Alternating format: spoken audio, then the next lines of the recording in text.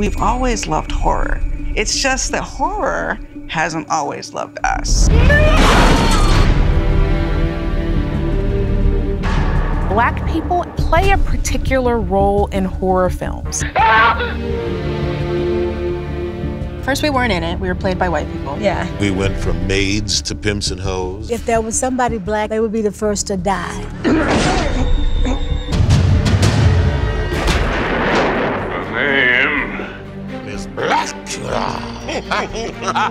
One fellow said to me, You were directing before it was legal. You can be the boss down there. I'm boss up here. Yes, that's history. We've shifted from being the focal point of the fear to being the heroes. This would be unheard of 25 years ago. If we can use what we've experienced, we can tell stories that people have never seen before.